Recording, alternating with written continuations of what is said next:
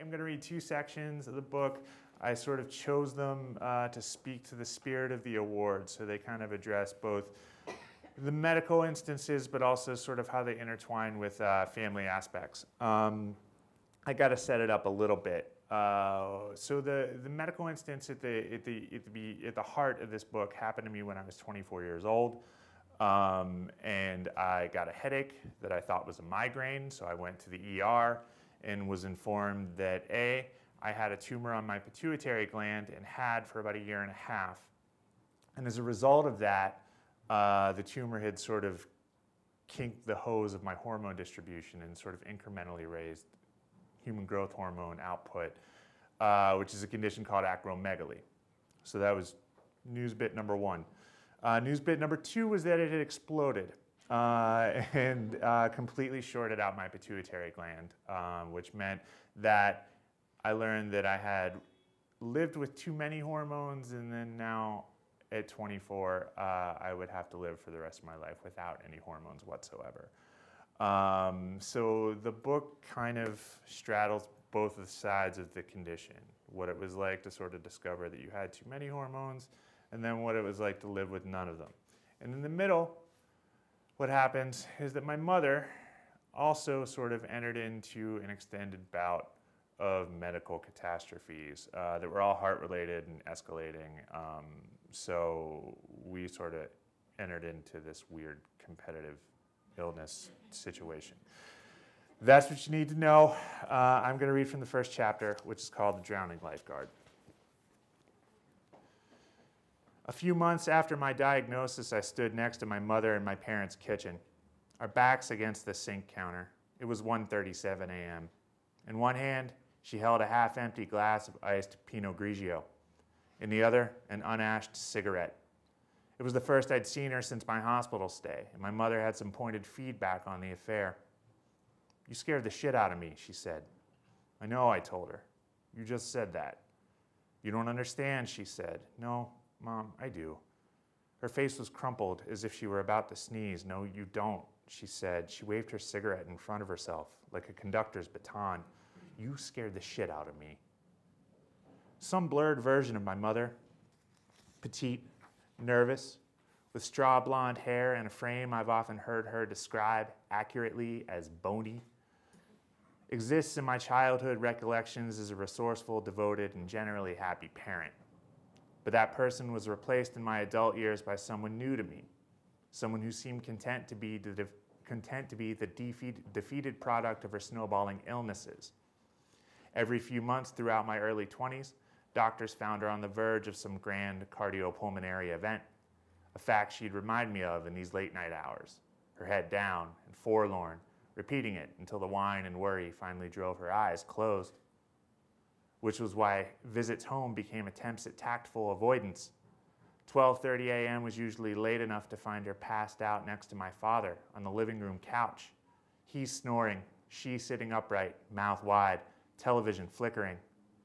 But there were still nights like tonight when there was no dodging the slow tack of her walk, the record skip of utterances that never found their way to her lips during the day. You just made jokes in that hospital, she said. She was almost crying now. Her teeth were clenched. Had yourself a good old time, she said. You scared the shit out of me. I know, I said. I'm sorry. No, no, Michael, no, she said, and she exhaled and closed her eyes and held her arm in the air as if hailing a cab and then swatted it down. You scared the shit out of me, and so on. What she may have been referring to. The secret ambulance from the Brooklyn Training Hospital delivered me to the brain trauma wing of a far more impressive facility in Upper Manhattan.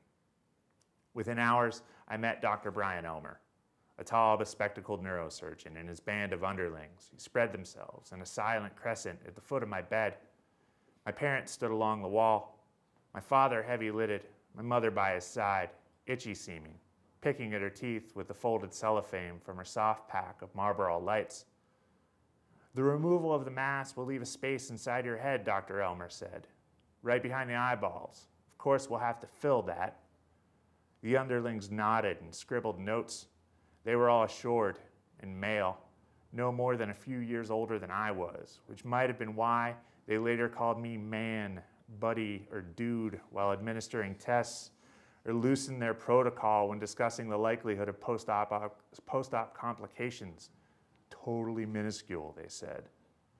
The rupture had swollen my brain, so they'd given me Decadron, a pill that warded off the ache and swelling with a stunning efficiency. I was clear now, alert. What, I asked Dr. Elmer, will you fill the space in my head with? Fat deposits, he said. We'll either take them from the side of your leg or the back of your thigh. Back of my thigh, I said. You mean my ass? Well, he said, the back of your thigh. uh, so you mean my ass? I said, sure, okay. He said, but we'll likely take the fat from the side of your leg. No, I said to him and then to everyone, take it from my ass. I want my ass in my head. One of the underlings let out a mini snort. My father gasped, shithead, like he'd arrived at the answer of a long unsolved riddle. As I spat out something half baked about wanting, wanting a bona fide excuse for all future mistakes, my mother exhaled and chomped down on a fingernail. Shit for brains, I told Dr. Elmer. Say you can make that happen. I drove my orderlies weary with a line I'd beat to death in the coming years. We're going to take some quick blood samples, they'd say. We'll make it quick, I'd tell them. My head's about to explode. I entered in. These jokes aren't great. I entered into an over under game with my pleasant Dominican sounding nurse, Avis, regarding how many bad rental car jokes she'd heard from patients during her rounds. Avis, I'd say, so what are we at now? Three? Depends, she'd say. Does this count as one? The morning after I arrived, three days into the affair, Avis wheeled me to the visual field test station, located almost like a closet in the back room of the hospital's nursery. I'd taken my first VFT while still in Brooklyn, still under the unbearable throttle of my apoplexy. The pulse of the swollen tumor had pushed against the backs of my eyeballs, cloaking my periphery in waves of dense, cloud like illuminations. I saw only what was directly in front of me. Now, Post Decadron, I pressed my face against that set of closed binoculars with a painless clarity and renewed vigor. Spots of light appeared on a blackened backdrop for me to pinpoint to the left, lower left, upper right, etc., and I pounced on them. The technician, a soft spoken woman named Jean, who appeared to be in her late 40s, ambled into a conversation. You still in college? Just got out in January. Upper left. Ah, well, that's nice. My parents would certainly agree, I said. I was on what they like to call the 5.5 year plan. Upper right, upper right. We moved on to small talk about hopes and career intentions that I'd come to find grating and learn to avoid after six months of complete unemployment in New York. But with my head clear, every familiar thing felt like a reward. Jean said she had a daughter a few years younger than me who was thinking about being an English major like I'd been. I told her I hadn't had a job in six months, left, lower right, and that she should double major in something useful and employable. How about neurosurgery? Right, lower left. And then I reeled off canned one liners about head explosions and shit for brains. Left, upper left. My operation was the next morning. So that afternoon, my mother, father, and I sat subdued in my hospital room, quietly watching a repeat marathon of the Thomas Crown affair on the tiny television that hung over my bed like a crane arm. My mother was talking about how superior the original 1968 version was, how it was the first movie she and my father had seen together when they began dating in high school. When Jean, the VFT tech, arrived at my room, she placed a plastic bag on the swivel tray next to that day's empty dinner plate. Inside the bag was a box of green and blue thatched stationery and three matching steel pens. So you can do your writing, Jean said. And then she leaned in for a light, careful hug. My mother spent the rest of that evening lapsing into sobs while playing Trivial Pursuit to pass time. She chain smoked on the curb of the hospital valet. According to later reports from my father, she made demanding, unsuccessful calls to her sister in New Jersey. I need you here. then spent the remaining nights of my hospital stay awake well into the morning hours, flooding my overheated railroad apartment with hovering layers of cigarette smoke, perhaps recalling her own memories of hospitals, and thinking, with good reason, is he actually enjoying this? All right, so that's the first thing we're going to we read. So you get a sense of my mother and me, I guess. Um, so I'm going to move ahead to a section that uh, takes place about two months after I get out of the hospital, after I have no hormones, after I'm sort of grappling with both sides of this condition.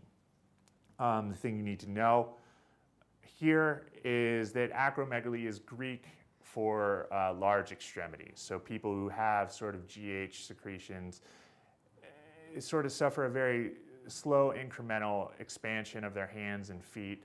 Um, the, the temples tend to cave in, the jaw expands, the tongue expands, and it happens at such a slow rate that almost nobody detects it. Uh, it's usually diagnosed uh, in people 49 to 53, usually after they go to a new doctor who doesn't have a visual history with their own face. So that's sort of the kind of, I don't know, sneaky way that, that acromegaly can kind of present itself. The earliest published memoir of life as an acromegalic is 1912's Acromegaly, a personal experience, written by Dr. Leonard Mark, who, in his 70s, set to pinpoint the origin of his own pituitary tumor. Not just when it formed, but when his growth hormone secretions began to contort him. Structured almost like a medically verified captain's log, Mark became a doctor in part to understand what had happened to him the book works as, as a detective story of self, with Mark recalling his memories or trips he took and the headaches or body abnormalities that accompanied them lethargy, face ache, noises in the head. It's a staggered anecdotal investigation into the trail of the disease. For 15 to 20 years, he writes, each day when I looked into the glass to brush my hair or shave, there was a typical acromegaly, typical acromegalic literally staring me in the face. Yet, I never recognized that fact.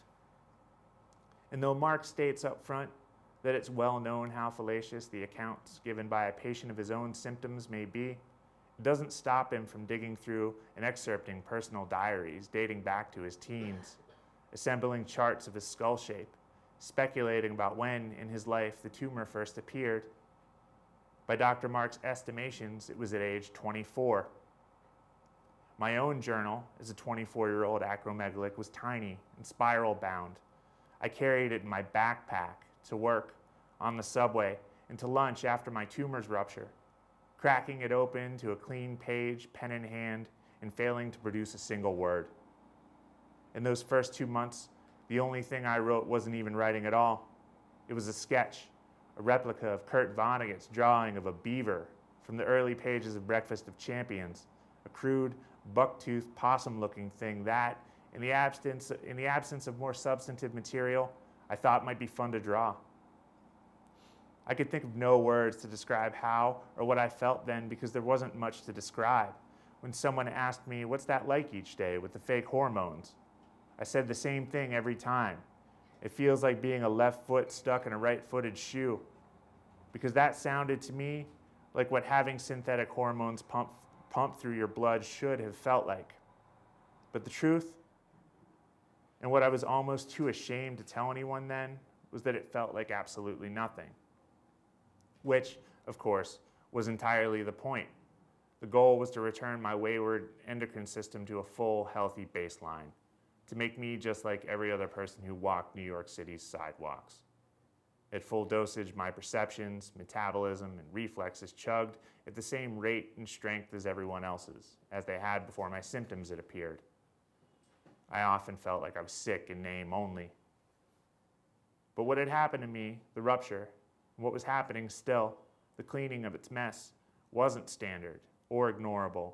And in the short months since my operation, there grew in me an unexpected impatience, almost a longing I'd been impaled with needles and gauged on treadmills, sliced up and stuffed with leg fat, told by astute and impressively degreed professionals that I lacked ingredients essential to my lifeblood.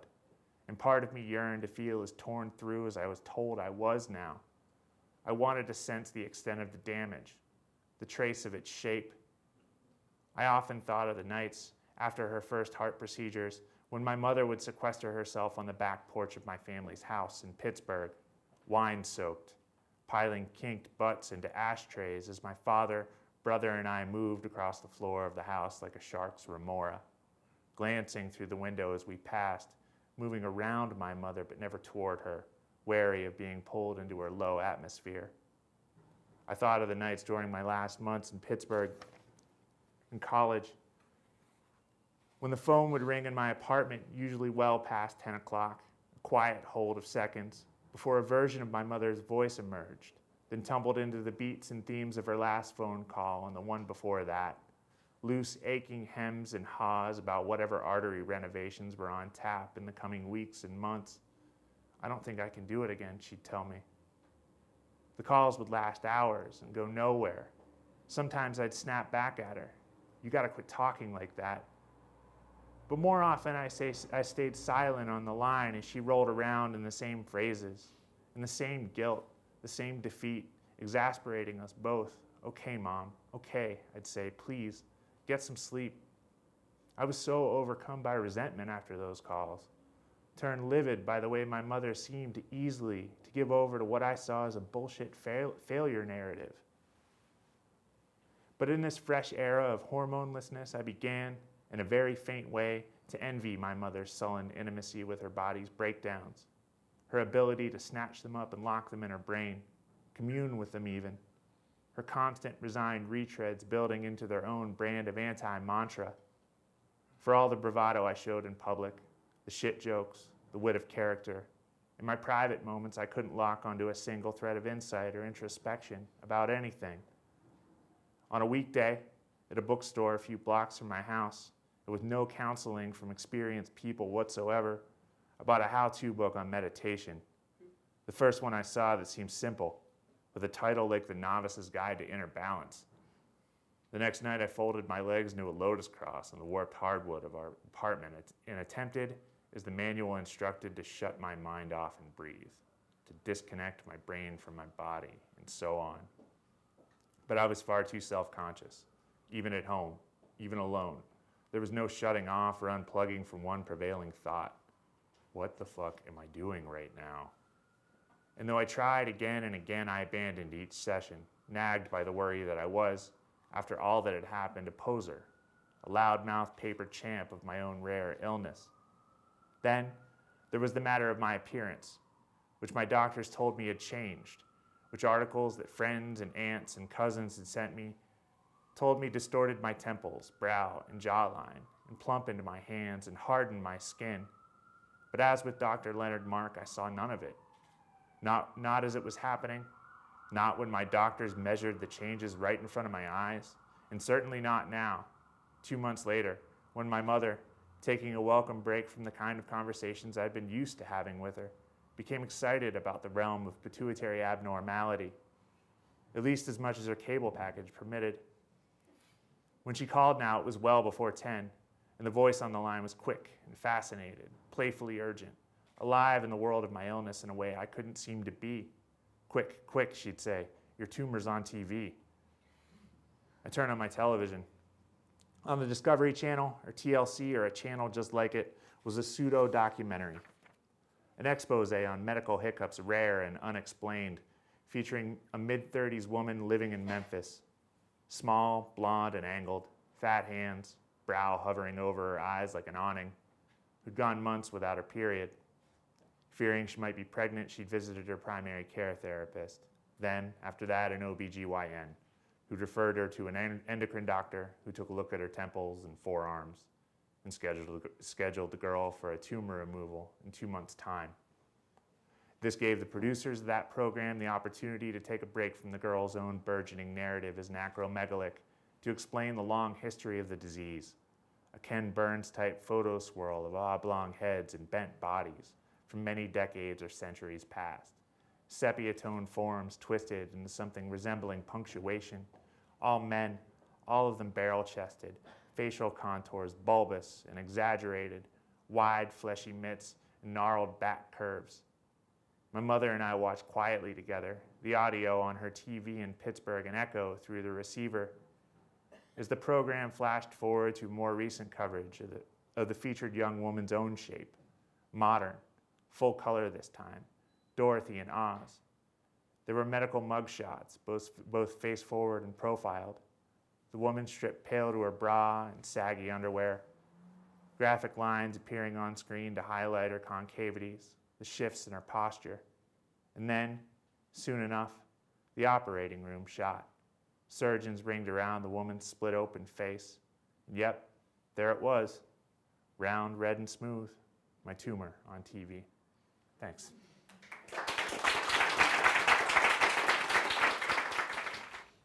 Mike, thank you so much for that reading. Um, I'm a huge fan of this book.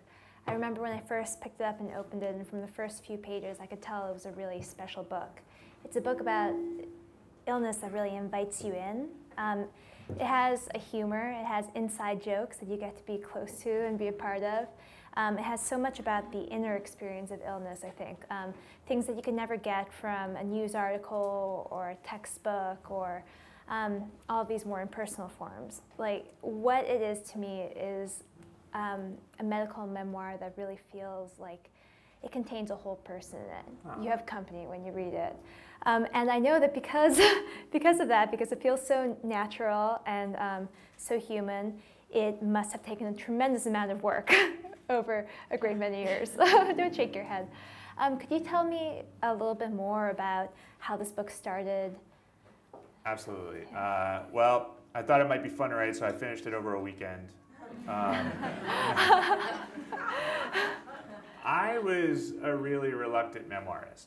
Um, and I think for the reasons that you're describing, the kind of the kind of work I really kind of gravitated gravitated to is stuff that that that invited you in and, and and seemed to be like somebody who would sit down next to you at a bar and tell you a long yarn.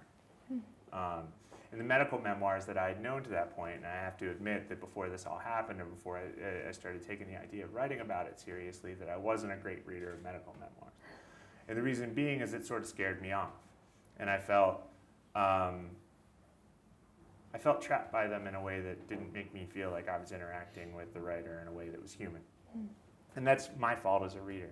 So that was a sort of preconception that I had about medical memoirs, and I tried to access the story in various other ways.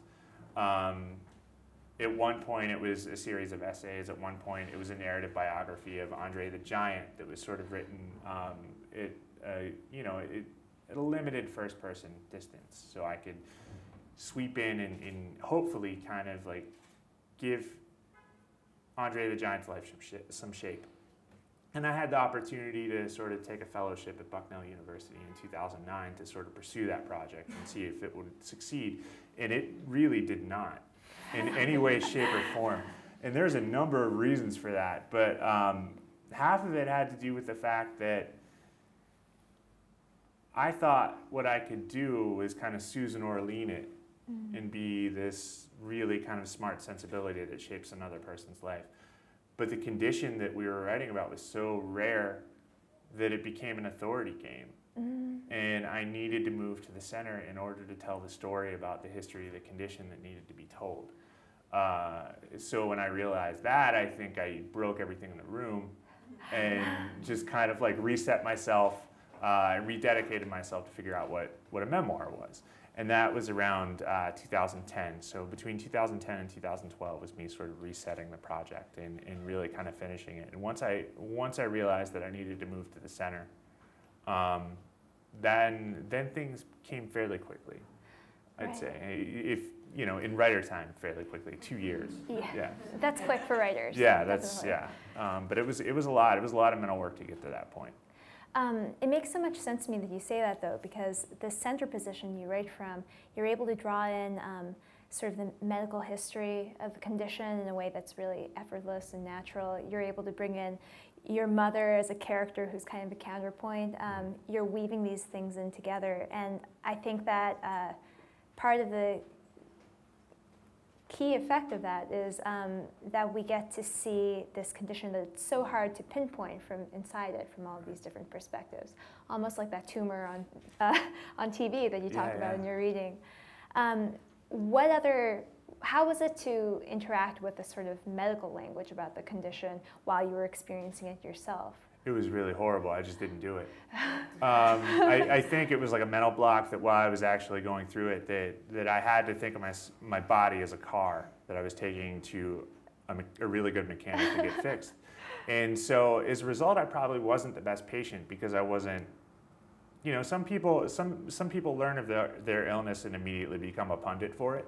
Mm-hmm. Um, which I think, which it, my mother did, you know, and, and so there, there, are a couple of complicated psychological things probably at play when I was like, well, I'm not going to do that if she does it. Um, so weird, right? And it's like we're just sick. Uh, so, so I, I think I think that there there was part of me that was just sort of like, well, I've got specialists; they can worry about it. I'm young; I'll get through it, and that's fine. Uh, but the story never left me alone. So when I had to return to it, I had to sort of like read up on all the stuff that I'd ignored while I was actually going through it, which was it was a lot. Right. Yeah. There, there's this tug of war going on between the coming of age story that's there in this book um, and the development of the medical story. Yeah. Yeah, I, in, and I think I think the easier parts for me to write were the were the coming of age yeah. story, and I had I had this fear I had I had this fear of the information, um, where it was I felt like if I gave over to it, I would use it as a defense mechanism and not get to the real dramatic heart of the story. Um, so when it came time to access that information, I, it, it took a really hard time for me to get confident with what I wanted to do with it. Yeah. Um, and it actually required help. I needed to, to get somebody who was a fact checker who, who, who could actually work alongside me. And I would, you know, I would, you know, I wrote a number of passages and I would give it to her and be like, this is what I want to achieve with this scene. Am I arranging the medical information properly? And mm-hmm. she would write me back like a 15 page thing saying, No, you haven't. This is not right at all. and like it was a former student of mine, and, and I think she really kind of relished just being like, Oh, my former professor is an idiot, you know. and so uh, it was great. It was it was great having somebody call me on something, and, and it felt like I had a collaborator. Um, so that the, the medical aspects of it were, were um, and I, I still am not totally confident in those parts of the book. So uh, it's just it's out, it's outside of my comfort zone in a way I don't think I'll ever get right with. I think doctors have a very special authority that, that non-doctors can never quite approach. right. I had a former student who was also a doctor, and um, everything she said in class and workshop, like I felt like I had to be like, that's a very good point. yes, yes. It, it, it, sort of exposes, because I, I think we're always looking for the unanswerable question as mm-hmm. writers, and yes. doctors are not. They are trained to do the exact opposite. So, yeah, I, I am definitely, uh, they're the alpha in the room, and I'm like, okay, that sounds great. You've set the rules. You know, yeah. Well, one of the things that really sticks out about this book, I think, in a good way, um, is that a lot of the the quotes on the back of it, including mine, seem very surprised to be reading a medical memoir that is so funny. um, it's genuinely laugh out loud funny at many points, um, and I'm wondering why you feel that humor and illness um, are so rarely combined. Yeah. I think, okay, so I, I, I don't think that you can really sort of explore humor in a grave illness mm-hmm. in a way that, well, you can. I mean, it, eh, but it's a different type of humor and it doesn't really invite interaction. So, um, the kind of thing, there were two things that, that, that challenged me with regards to the tone of this is that A, the facts of the matter were that I responded almost immediately to news of this condition with jokes.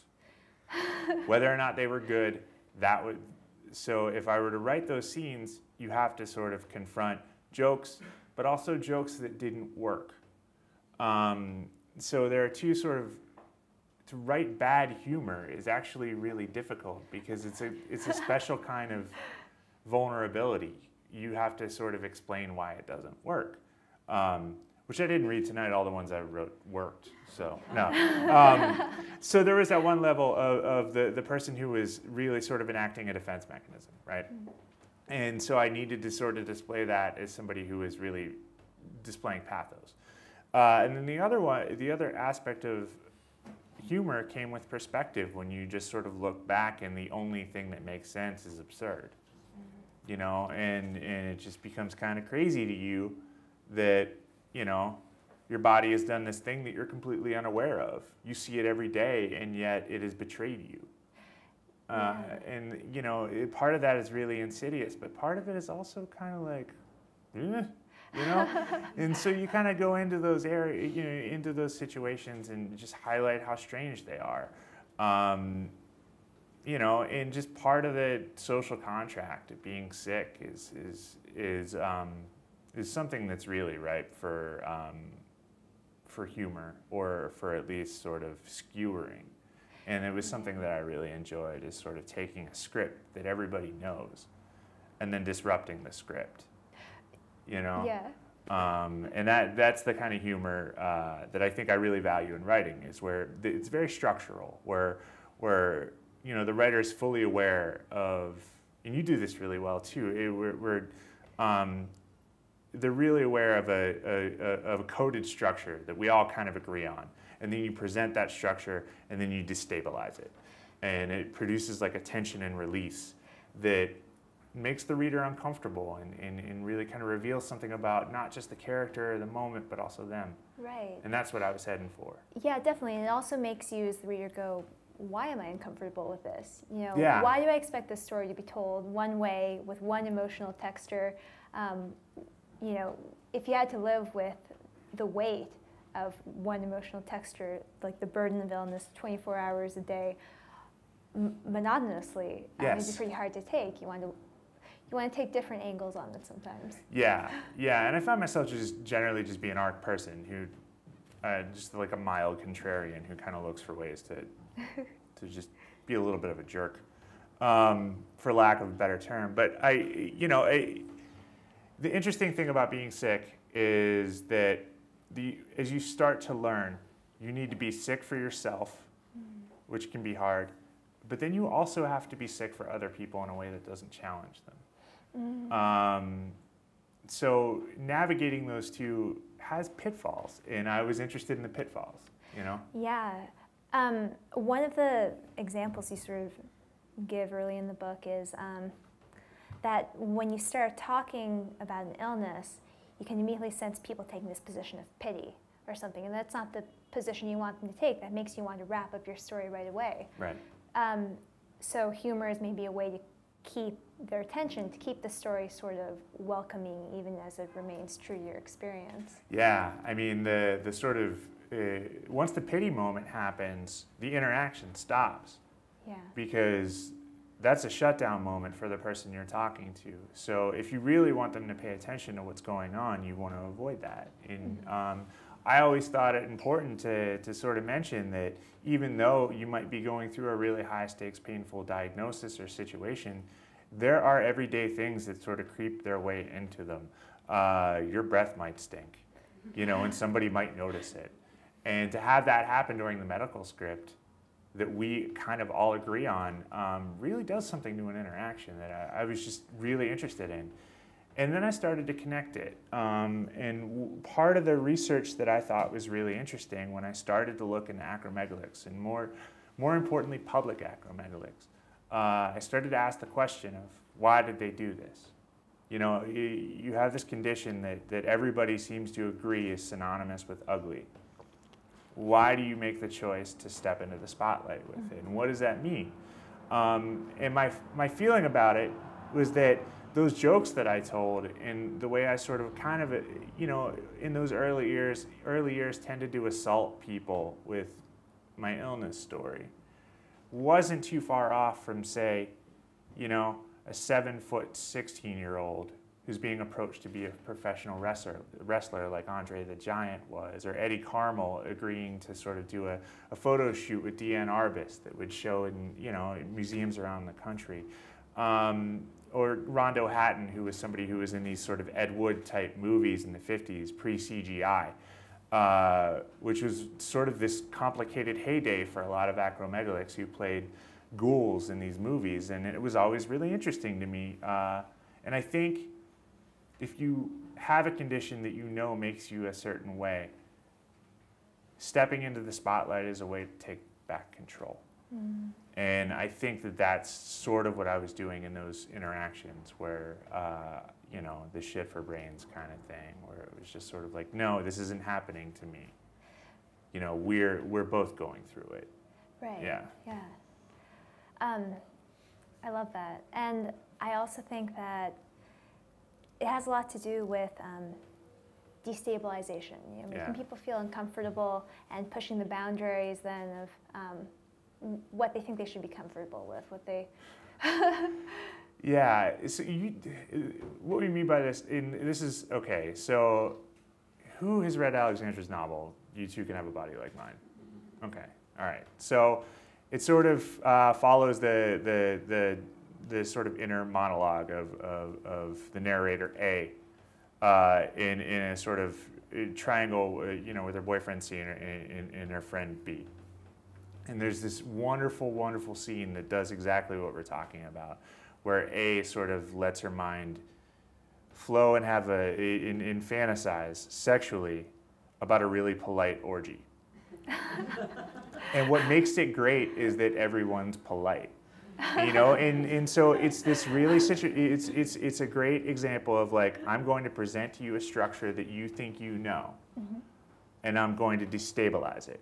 And politeness is the destabilizer. And, it, and, it's it's the best. I like i i read it and then i was just sort of like this is great. And then i read it out loud to my wife and then i read it again. It was yeah. So i, I think destabilization is is just a um, it's something as a writer i'm always looking for uh, and i and i sort of write into really familiar territory thinking like you know when can i pull out the the tablecloth you know?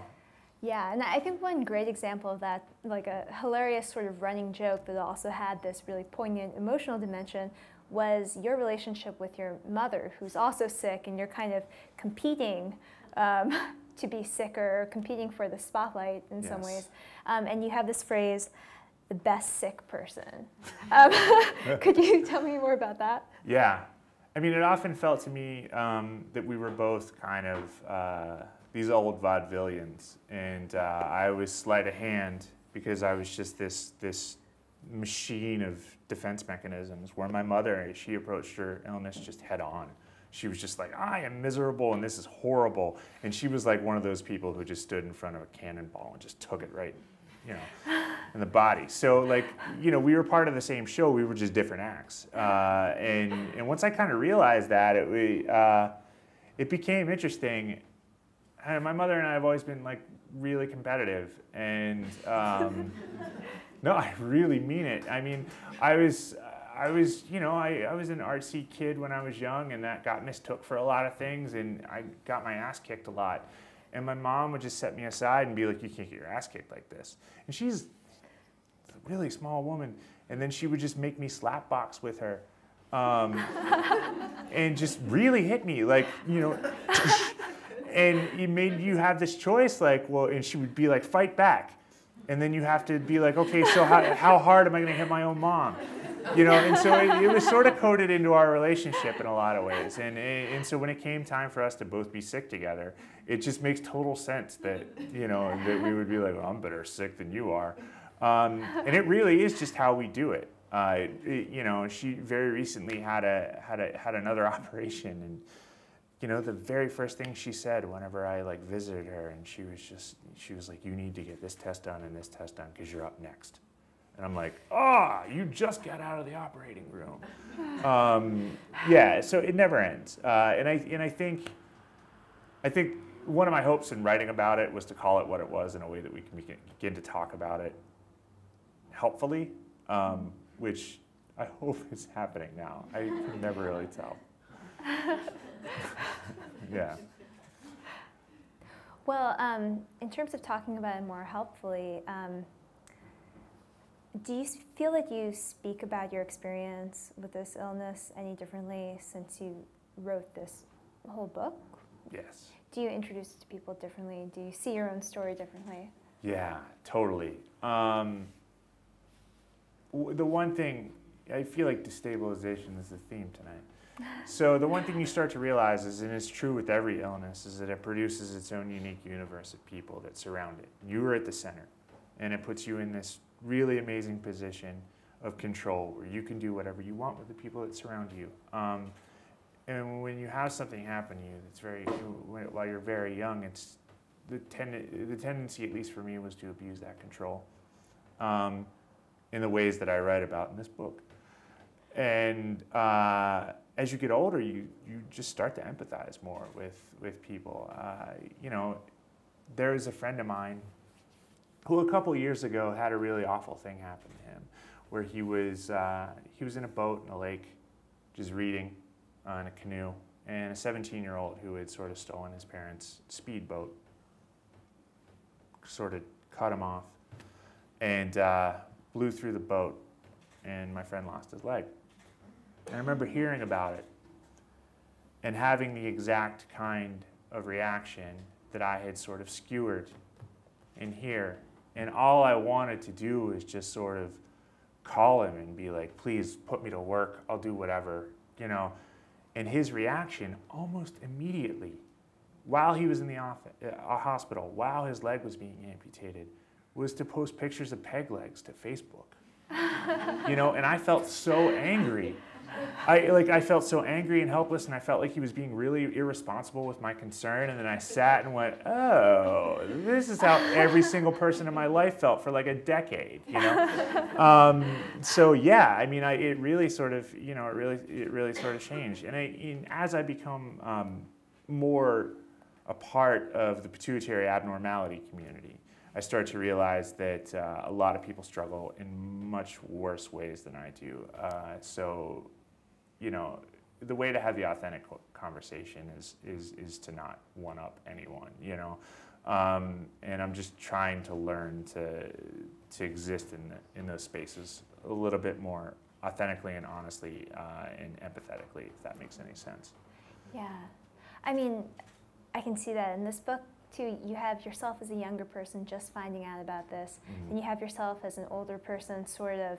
Um, watching each new development in the illness sort of yeah. reveal itself before you. Like um, that's something I like about the title, the brand new catastrophe. It's sort of one catastrophe, but it's also sort of a, a new disaster every time something happens. And um, one of the things that your story about your friend with the peg leg points to, I guess, for me is um, this difficulty separating yourself from the illness, right? So there's this wonderful scene in this book where um, you're looking at yourself in the mirror and you're telling your wife, like, do you see it? Do you see that's that's the acromegaly in my temple, that's a, in my face, um, and she just sees you, right. you know. Um, but whether it's your face or whether it's now the illness's face is something you actively struggle with. Yeah. Yeah, and it's a struggle that never ends. I was hoping you'd bring this up, mm-hmm. um, and there's a reason for it. And I'll get to, hopefully I get to it in a minute if I don't talk away from it. Um, but yeah, so the the most difficult thing is somebody goes, "Well, you look like this now," and you're like, "Oh, I, no, I just look like me," and then it takes you to this real stoned grad schooler place where you're like, well, am I me or am I my body, you know? um, and it really tends to infect, you know, in, in, the first thing everybody does when, when, when, you know, when they find out or when they, they inform you that, that, that you have acromegaly is, you know, go Google it. And that's horrible. Don't ever do that because there are people who've had it for like 50 years who, whose bodies have really been ravaged by it. And it just takes you down a rabbit hole of, of, of things that really tend to confuse your own image and in your, in your own feeling about that image as it's connected to it. Um, and I feel like I'll always be asking myself, you know, what would I, it's like a flashpoint that creates this whole other timeline of mm. what would have I looked like had I not had this tumor. Um, and you're always sort of comparing what you do look like to an imaginary image of yourself. And the imaginary image is almost more powerful than the real thing. Um, and you're always sort of measuring the distance. In your novel, you do something really fantastic with this, where um, uh, the narrator's friend B sort of socially pressures the narrator into giving her a makeover in the narrator's image. And it's one of those moments where I read that and I was like, wow, we're shopping in the same store here, you know, but you're buying totally different things. And it, like, if you guys, it, it's just, it's crazy. It's just somebody's monologue while they're drawing themselves on somebody else's face, which is early on in the novel. So as it goes on, it gets even crazier and better. Um, but I was just sort of like, this is just like the scene that you brought up, where where it's this endless sort of disembodiment that happens fr- by the body, which is it's crazy. It's betrayal in this strange way. Yeah, I don't know. yeah, and, and that like um, your body so little bit is up under your control, really. Like Yeah, you can yeah. consciously make some choices about it, but all them, all at the same time, it's changing itself, like behind your back. Yes. Yeah, yeah. Another bodily So good metaphor. luck looking in the mirror later, guys. Yeah. Um, one of the things that um, my friend, who I think I may have introduced you to, who also has a similar um, pituitary disorder, said this book really captures is the sense that um, your experience is so continuous to you. You don't see these small changes in it when they're happening, um, and you only see them when someone points them out to you, when when something breaks and there's a catastrophe, and you have to figure out why it happened. Um, did that make it difficult to go back and tell the story, to tell the story of the times when you didn't know that you had this, but you still need to marshal um, an explanation of where it came from? Yeah, absolutely. Um, and I think it's probably one of the things that anyone who writes a memoir sort of contends with. Um, and uh, it's really hard uh, because what you need to do in those moments, and almost every memoir does this to a certain degree, is you need to dramatize a blind spot that you've had, which is really difficult to do. Um, I think a book that does this really well is uh, Darin Strauss's Half a Life where uh, there's a really horrible thing that happens in the beginning and it keeps sort of returning into his life in a way that, that, that, that sort of challenges what he does and doesn't see about it.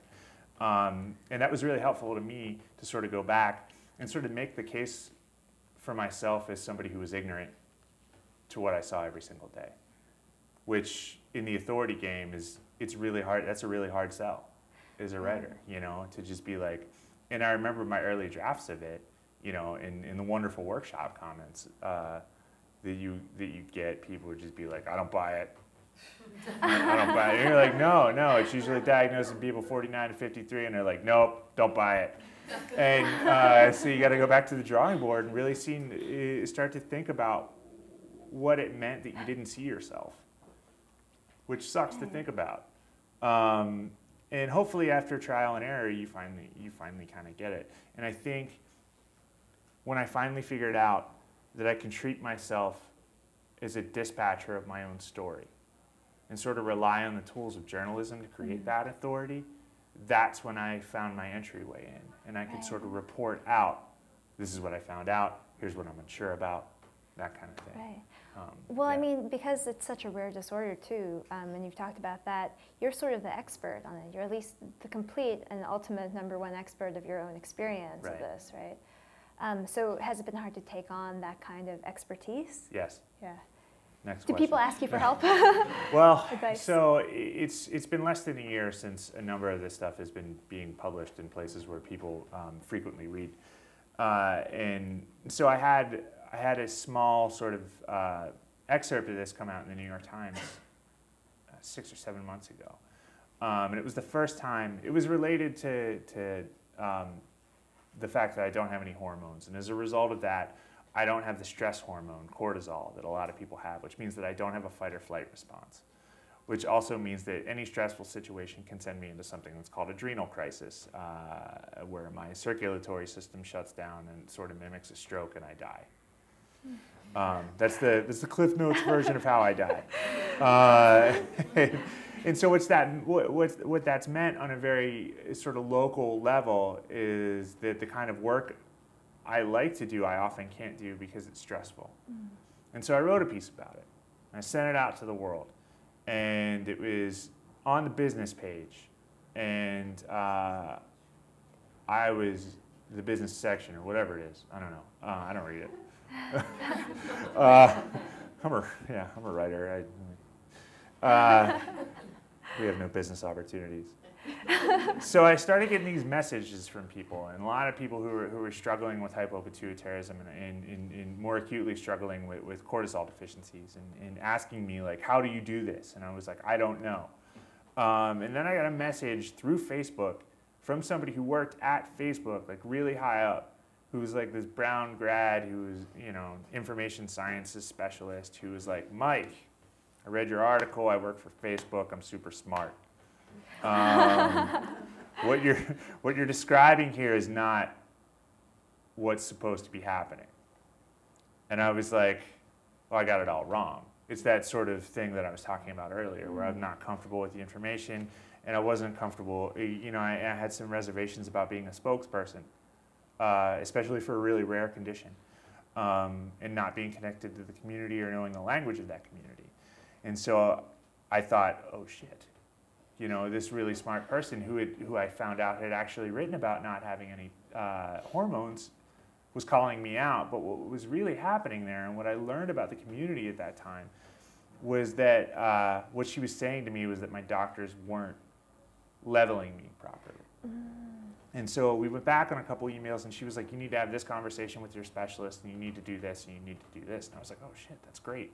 And I had that conversation. It's been really great since. Um, and what I slowly realized about the community was that everybody has a different relationship with the same exact illness. And there's a lot of sort of self regulation because stress is something that's deeply personal, and what triggers it is deeply personal. And so it's been hard to know where to stand as somebody who's writing about this and representing a community because they are all individuals. Um, I'm part of some adrenal insufficiency groups on Facebook, and I'm astounded at what triggers adrenal crisis and, and, and, and what I find stressful and what other people don't. Right. Um, rarely do our notes match up. So it's made, it's made it a real challenge. But it's also so great that through writing about this, you can find other people who can tell you, oh, it doesn't have to be that inconvenient. Like, oh, here's yeah, something yeah. I do. Here's, yeah. Yeah, no, that it's it's been great, um, and it's something that I'm still just sort of dipping my toes in, um, and uh, I'm being really careful about where I tread there, and I and I don't want to overstep and be like, I wrote a book about this. Um, but you did write a book about this. Yeah, I know. It's, it's weird.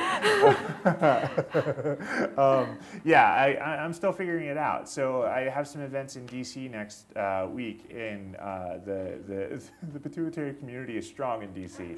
They're, they're, taking me out to dinner. So I, I, I, uh, I, I, suspect I'm going to learn a lot from that event. Yeah. So.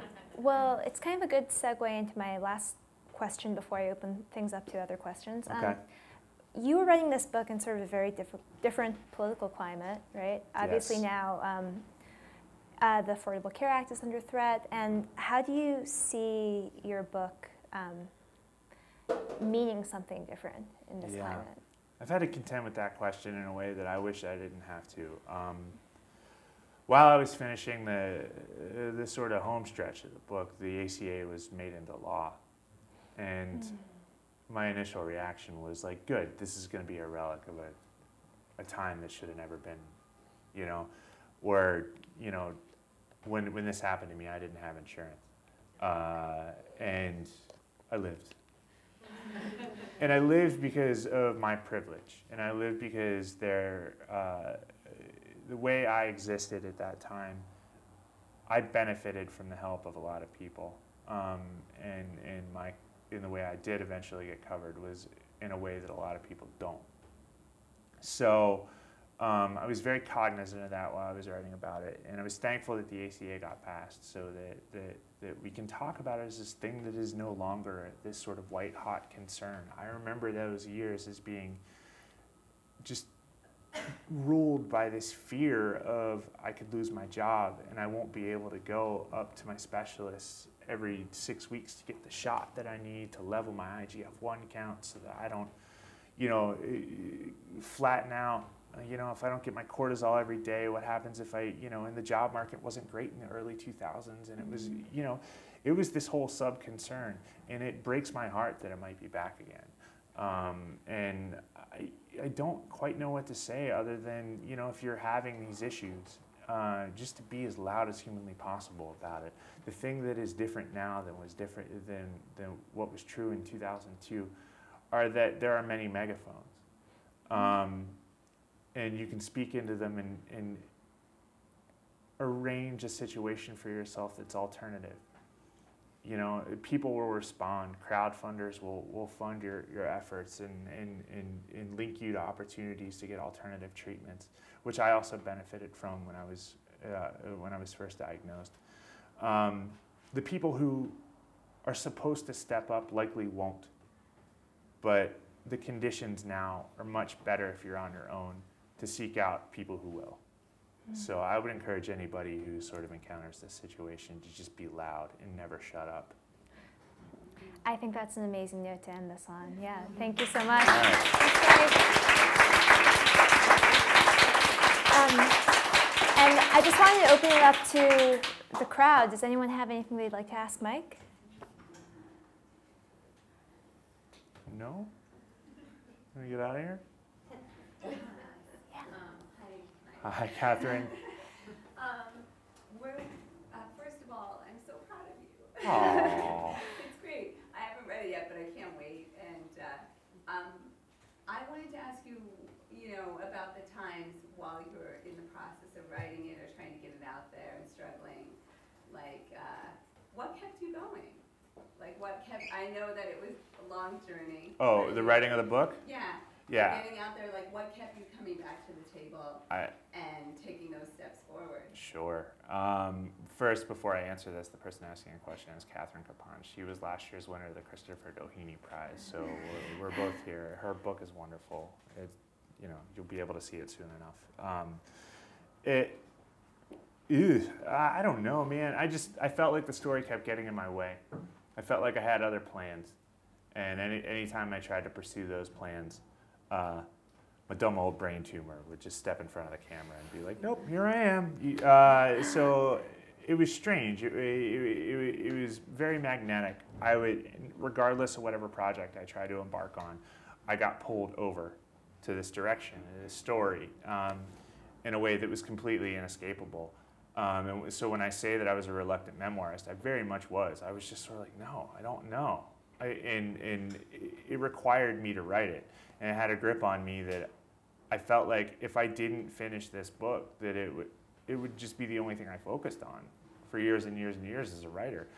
And, um, and I was a writer before this happened, and it was very frustrating for me. So it felt very much like I was on a mission to extinguish the story um, where it was just sort of like, I'm fine, I'm to get it out, and then we're done. And I'm never to have to talk about it with anyone ever again in a room at the Center for Fiction. Um, no, so that it, like it was very much like like I, I needed it gone. Uh, was the motivation. I don't know how accurate that is, but uh, it was never something I was in love with, and my wife can tell you that. I mean, we had many talks where she was just sort of like, "Is this good for you?" Because you're just constantly like stewing in the most miserable moments of your life all the time and trying to figure it out. And my answer was always no. You know. Um, so we got through it, uh, and so I finished the book. I, you know, as I said, is, as ACA sort of came into law, which first happened in 2012 and then again in 2015. Um, so I finished it in 2012. Uh, my agent at the time was, was excited about its prospects, and we sent it out into the world. And the world was like, "Cool, we're good. Uh, we do not need your book." Uh, and so, at the time, at the time, I I was really, uh, you know, I would just say this. Whenever a manuscript fails, what happens is all the people in the writing community who have had failed manuscripts quietly come out of the woodwork and they contact you and you create this secret network of people who are like, I wrote a failed book too. um, and so you feel really good during this time that, that you're heartbroken because this thing that you spent very uh, many years working on uh, just didn't work out. But then that quickly gave way to a kind of freedom that I'd wanted from the, the start. I was like, well, I wanted to write this to extinguish it, and I have. So I went to work on, on projects that I was really energized by, and, uh, and that really, um, I was really happy about it. And I was moving along, and I, I, had, I had left the story behind, and then the Christopher Doheny Prize came along, and, and we got back together. Anyone else? Yes, Patricia. What is um, the, mo- the best advice or the most helpful change that your editor had? Oh man, well she's sitting right behind you, so um, I think I think the most valuable thing for me about the the writer editor sort of relationship is uh, not just new eyes, but but an attuned sensibility that's fresh. And what I liked best about my editor partnership was how keenly she saw whenever I worked redundantly. And what I mean is, is you know, when you write a book about defense mechanisms, you perform these things all the time, you know, which, which means that dramatically you're just performing the same action over and over again. And I wrote these scenes because they were either funny or they, you know, communicated a kind of expository information. And then my editor would just take a look at the dramatic progression of those things uh, and, and, say, nope, you've already done that work. Psh, get it out of there. And so, and, and so we did, and it was so, so helpful to have somebody who was attuned to that part of the book. Uh, you know, I talked about blind spots, and that was a major one, and it was really helpful to, to have an editor work with me on that. Um, but there are a ton of other things. I mean, we ended up cutting like something like 17,000 words from the book. And if I had it my way, we'd cut 17,000 more. Like, uh, it, it, was just great to have somebody who wasn't afraid to slash and burn, you know, uh, to sort of take my sentences and, and, and, really make sure that they were doing the most organic work that they could. Um, and, and I don't think that that was the case uh, with the manuscript whenever my edit editor got it. So it was really great to have somebody who was extremely hands-on and who wasn't afraid to make sure that this, what was on the page worked for the reader, not for me. Does that make sense? Yeah. I think up here we had questions. Yeah. Two quick questions, please. Sure. It's a double question. It's a double question. I'm excited. Different. All right. Number one, what did you write about prior to? Sure. And the other one is, um, pardon my naivete, but who, who, who eventually published? Uh, press uh, called Sarabande Books. Say again? Sarabande Books. Okay, thank you. I mean, I know I could look at the book. it's all good. But I was just thinking. So what about the first one? What did you write about? Yeah. Uh, so I was a sort of um, I was a sort of low level journalist for hire. Um, when I was in college, I you know I studied I, I studied uh, literary fiction and, and, screenwriting and all that fun stuff. But I also worked at a regional magazine where uh, where I would do feature writing and, and I was also a fact checker. Um, and I wrote for alternative weeklies where I would do you know album reviews and websites and that kind of thing. It was really I was just kind of uh, I was just a stringer, you know what I mean? And I really liked the idea of just being like a just like an arts writer. Um, it's really what I wanted to do. Uh, I, I, moved here to New York City uh, totally with that in mind. And I was like, there's a million magazines. Nothing's ever going to happen in magazines. Um, and, you know, I, I, just thought that I'd roll right into that. Uh, I was lucky to work as a journalist through college uh, as an undergrad. Um, and I, you know, I had almost no interest in anything other than working as a journalist. Uh, and then this happened to me, and I needed to get coverage in a job. Uh, so the shape of my writing career changed. Uh, and it took me in, in this direction that led me to this book. But um, I, you know, I've always loved fiction. I've always, I always really loved really snappy magazine journalism, the kind of stuff you see in Esquire or, uh, you know, Vanity Fair. Just, you know, just really polished, tight work that kind of goes into the corners of culture and, and has some fun with it. And that's sort of uh, what I always wanted to write. What did you mean by your needed coverage? Uh, health coverage. That's what I thought you were referring to. Yes. So at the time, you know, health coverage wasn't really easy to get as a freelancer.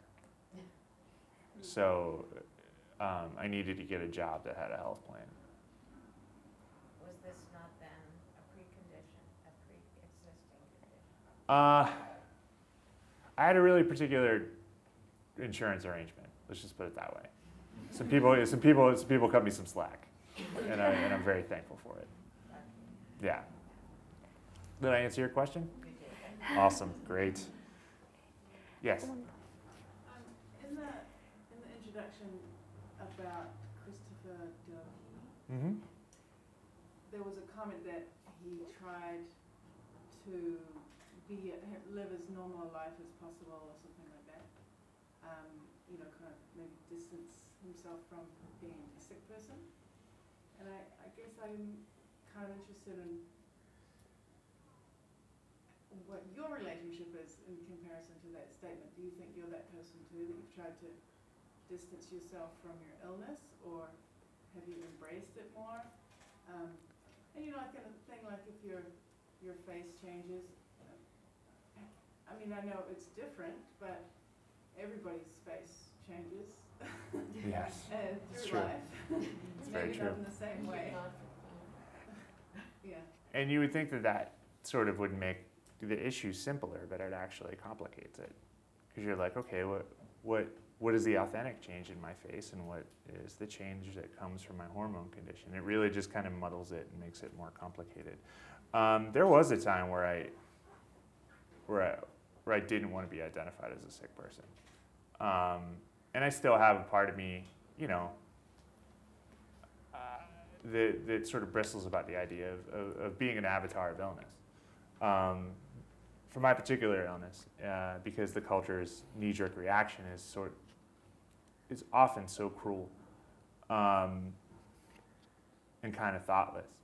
Uh, and I know that sounds really harsh, but when you start to look at the way that, that Andre the Giant was treated while he lived and even after he died, he's now very literally the poster boy for pituitary abnormality in a way that's completely disembodied from who he was. Uh, if I were to ask anybody, you know, anything about Andre the Giant in this room,